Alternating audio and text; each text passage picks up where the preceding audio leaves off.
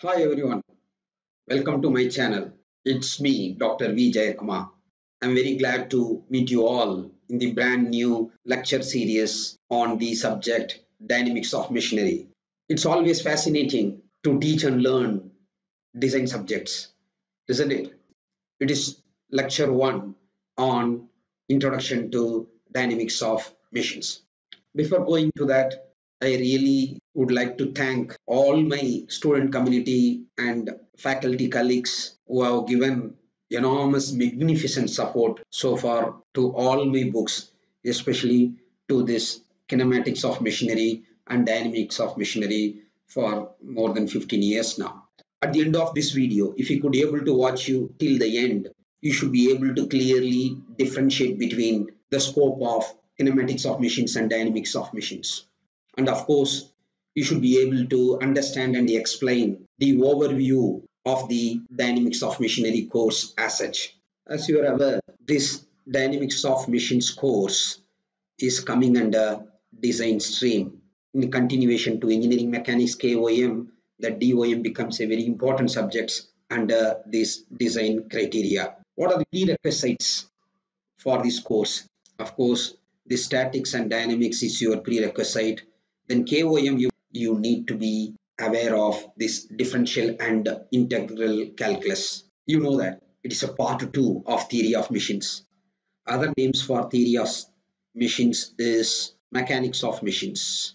Its name implies it has two components, mechanics and machines. So let us talk about machines. What we see here, sewing machine, some kind of a old engine, then there is a washing machine, all are called machines we might have studied already. What is the difference between machine and mechanism? Let us take the classical example of this IC engine. What that mechanism says, mechanism is a, only a conceptual skeleton outline of the machine, which only concentrate on the motion.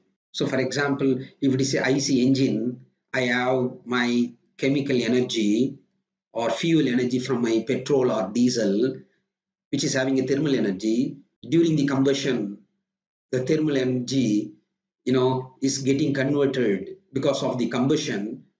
It exerts pressure on the piston head and the ends, this crank rotates. So thermal energy is converted into mechanical energy. So to convert that motion from this reciprocating motion to this rotary motion, I need this mechanism. This mechanism is what we call slider crank mechanism. Now what happens? Energy comes into picture. We can transmit and modify both motion and energy with the available set of all the other associated components and parts and hence it can transmit and modify energy then we can call it as a machine or in other words we could clearly say that all machine by default will have one or more mechanisms. So in this IC engine, we have slider crank mechanism. First, we should know that, so mechanical engineers, what they do, mechanical engineers normally they do designing, analysis, manufacture, then of course install mechanical systems what are mechanical systems? Systems that has moving parts, moving components. So for a design engineer, the most important thing is we should be able to study the relative motion between the various moving parts. So one should study relative motion between the various parts of the machine. So in that machine, there will be many forces acting on them. This is what we call theory of machines. So in the theory of machines or mechanics of machines, it involves these two things. So this is what we are going to illustrate uh, with some example now. What is that uh, domain or scope of kinematics of machines and dynamics of machines? These are the two branches of theory of machines. So already this is part one you have completed in your previous semester. This is what we are going to study now, part two. So this is a very classical example of IC engine. So this is a typical IC engine. Okay, so this is my input energy during the combustion stroke. Combustion happens, so the air plus fuel mixture expands. Because of the expansion, due to very high pressure, it exerts thrust on the piston head. When it exerts thrust on the piston head, what happens? The piston reciprocates. Then because of that, this oscillatory motion of the connecting rod is converted into rotary motion of the crank. So here, what are the various components? This is crank, whose length is R. This is connecting rod. Let the length be L. Let at any point of time theta, now I wanted to determine what is that displacement of piston at one particular time t, say when t equal to 10 second, let us freeze this IC engine. When it is frozen, I assume that the theta, some angle theta, say theta equal to 45 degree. When theta is equal to 45 degree, at that point, what will be the displacement of the piston I wanted to determine? And also, I would like to know the velocity of piston and acceleration of the piston as well. And also I might be interested to find same way velocity acceleration of connecting rod of crank as well. Since crank has angular rotation, I might be needing angular velocity omega. And also both are having, you know, a kind of a rocker mechanism. So I need to know their angular acceleration of connecting rod and crank. Determination of velocity, acceleration and displacement are technically known as kinematic variables. So in this IC engine, if my aim is to determine only kinematic variables, then I call this subject as kinematics of machines. So determining kinematic variables is known as KOM. These kinematics of machines normally will have two types. One is analysis of mechanism, another one is synthesis of mechanism. In this analysis only, I am going to find kinematic variables or we call motion or geometrical characteristics of machine parts. This is what we call it as displacement, velocity, acceleration, omega, angular acceleration, and so on. In the synthesis, we are going to talk about for a given application, what are the type of mechanism we are going to use, which we call it as type synthesis. This is type synthesis. So for the given application, what should be the type of mechanism one should use?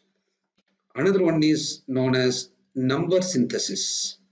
It says what should be the number of links, number of joints that are to be used in order to obtain the prescribed required input and output motions, right? The third one is known as dimensional synthesis the dimensional synthesis talks about what should be the dimensions of each and every link, what should be the degrees of motion. All these two components you have covered under kinematics of machines. Here, the important thing is you never studied about forces causing this motion. So forces are not studied, not considered, though they are acting on them.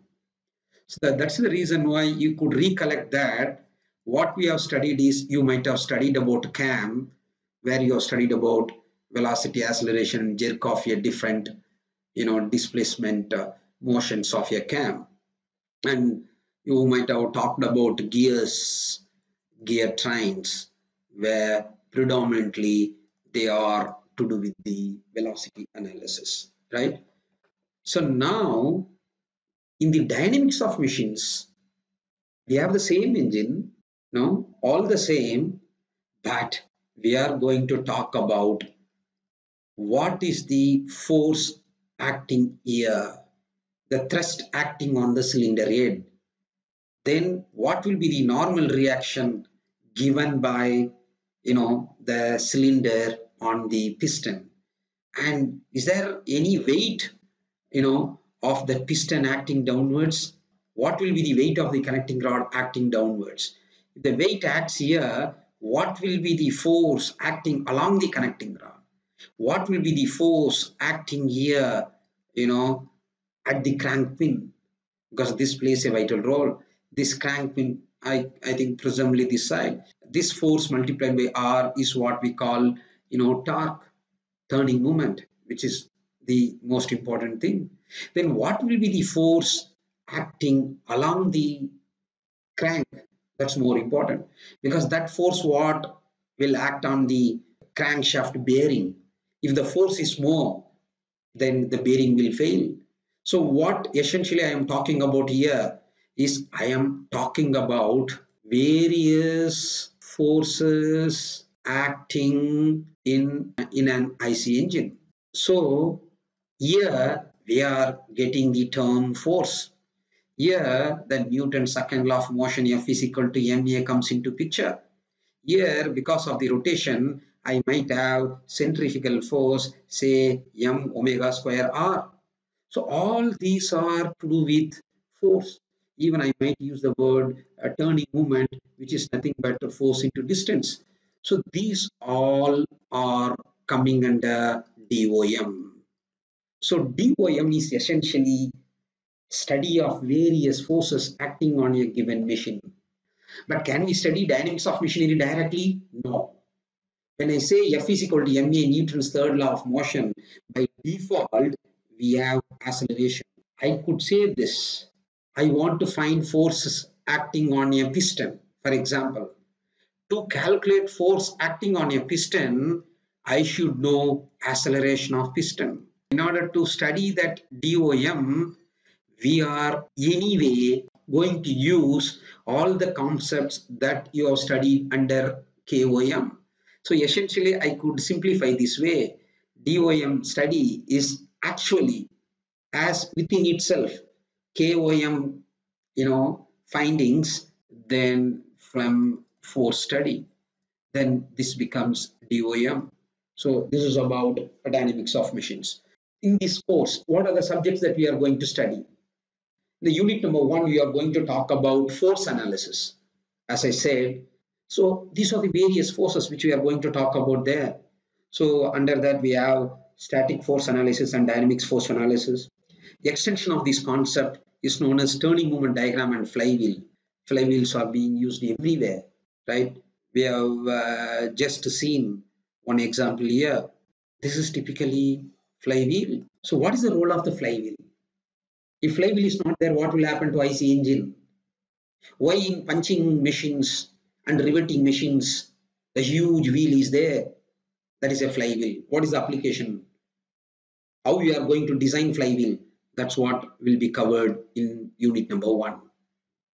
In unit number two, we are going to talk about balancing of machines, balancing of rotors. If you take a shaft, assume that there are many components are mounted, say three gears are mounted, two pulleys are mounted.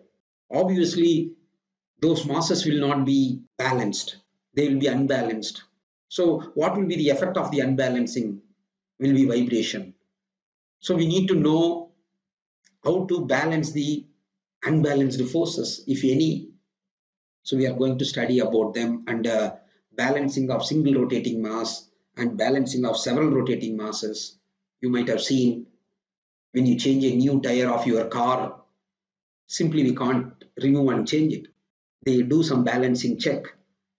They might put it in a one balancing machine and when they switch it on, it will show in which direction there is unbalanced force.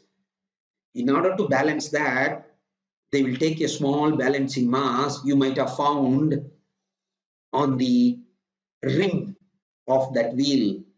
They mount that small M in order to counterbalance the unbalanced force so that your wheel will not be wobbling, so that your car will be stable. So this is what very interesting concept we call it as balancing. What I have talked about is a balancing of rotating machinery. Same way there will be many unbalanced forces even during reciprocating motion in reciprocating machines. There are many reciprocating machines are there. You take a pump, you take a compressor, you take a IC engine, you take a you know any machines which involves reciprocating components. So how they are going to be done? All these interesting subjects will be doing it in Unit 2. Unit 3 is a continuation. 3 and 4 are continuation of Unit 2. When it is not balanced, vibration will happen. Whether in a mechanical term, vibration is a good thing or bad thing, by and large, it's a bad thing. Vibration reduces the, you know, life of the components. So they need to be minimized, reduced. So we start with different types of vibrations. When a shaft rotates, it undergoes vibration. So what are the various types of vibration? We are going to study in this unit number three. Please understand that practical scenario, all three types of vibrations are existing, coexisting. Sometimes one type of vibration will be very predominant over the other one and hence we ignore them and we consider the major one and solve the practical problem. So this interesting subjects we are going to talk about unit number three, right? This is what uh, we are going to study under free vibration. Free vibration means uh, without any external excitation. But practically speaking, all vibration problems are forced vibrations in nature. You take a car problem, there is a suspension system, right? There are some spring suspensions and the tire, tube, you know, the wheel, all there. The body, when it goes over the rough road, it vibrates. So I want to design that. So what can I do? I can convert that body into a mass, we call it as spring and damper system. So the practical problem can be idealized into spring mass damper system. That's what we are going to study under forced vibration. So we need to say there is an unbalance in the rotary motion. That unbalance will cause the vibration. When I talk about the vibration, these are the parameters. I am going to talk about the frequency of the vibration. I am going to talk about the amplitude of the vibration. So how to reduce them right? These are all the things we'll be studying under this unit number four. The last unit is still fascinating. We are going to talk about mechanical feedback devices. These two are mechanical feedback devices. Governor. Another one is gyroscope. So what the governor does, where are they used popularly? What is the working principle? So all that we are going to study. Then this would be more fascinating. Gyroscope whenever we have a rotating body and its axis of spin like this body will rotate any rotating body changes its direction of axis then there will be one external couple will be acting on you that couple is known as gyroscopic couple when a ship or an aeroplane as long as it moves in a straight line it is not experiencing anything the moment when it takes a right or left turn the ship or the aeroplane experience of gyroscopic couple, it is acting on that ship or aeroplane which destabilizes it. How can I overcome that? Measuring that gyroscopic couple, I need to produce externally in the opposite direction one reactive gyroscopic couple that will put our vehicles in stability. So these are the fascinating concepts that one we are going to study uh, in this uh, course, uh, Dynamics of Machinery, right? If you talk about the textbook, of course, I'm going to follow the book, you know, which is written by me. This is published under Lakshmi Publications, Chennai. So all my illustrations, problems, definitions are uh, taken from uh, this book, right? That's it. So you can uh, go through the recap. Hope you understand all that. You got a overview about this course. Thanks for watching. Please keep watching all my upcoming series on this dynamics of machines. Thank you so much. Bye.